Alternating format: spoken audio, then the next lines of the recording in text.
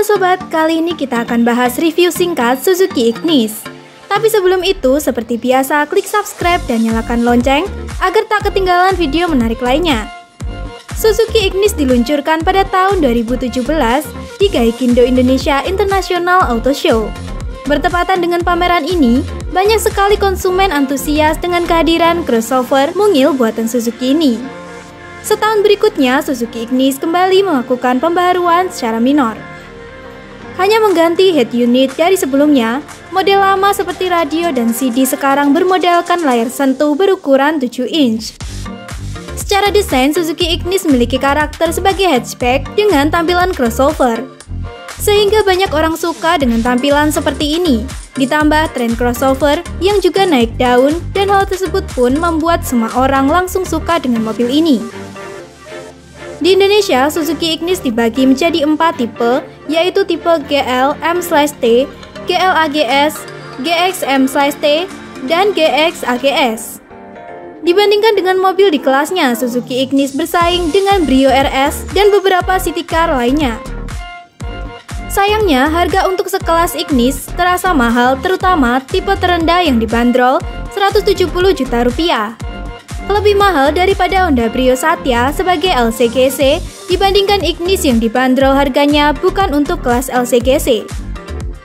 Sebagai informasi, Suzuki Ignis mengalami pembaruan pada tahun 2020 dengan perubahan di sisi eksterior dan sedikit ubahan pada interior. Pembaruan dilakukan karena Suzuki Ignis secara global juga mengalami pembaruan, mulai dari grill, bumper depan, diffuser, dan bumper belakang turut diperbarui. Sehingga pembaruan ini berikan hal baru terutama buat model seperti Ignis. Alasan memilih mobil ini adalah memiliki bentuk yang unik, memiliki kabin yang lapang, cocok untuk pengendaraan dalam dan luar kota. Desain bergaya Eropa, tenaga responsif, ground clearance tinggi, Berikut ini ulasan terlengkap mengenai Suzuki Ignis mulai dari eksterior, interior, fitur dan mesin yang disematkan pada mobil ini. Eksterior Tampilan luar dari Suzuki Ignis sangat menarik terutama di bagian depan, sangat modern dengan grill baru, dan desain bumper yang lebih mengotak seolah mempertegas konsep mobil adalah crossover untuk kaum urban. Dengan bentuknya yang semakin maskulin tentu saja meninggalkan kesan elegan di model sebelumnya. Sehingga bentuknya lebih menarik sekali dengan desain grill serta bumper depan mulai menggemuk. Berpindah ke pilar samping, terlihat tidak ada perbedaan dibanding model sebelumnya. Karena ubahan kali ini berfokus ke bagian depan dan diffuser belakang. Jarak tiga garis di samping bodi belakang pun tetap dipertahankan oleh Suzuki karena jadi bagian dari desain Suzuki Ignis. Perbedaan tidak mencolok pada bagian belakang seperti dipertahankan bentuk lampu kombinasi dari model sebelumnya. Hal tersebut juga dilakukan pada lampu utama yang tetap sama bentuknya. Pada lampu utama sendiri masih percayakan LED sebagai penerangan utamanya.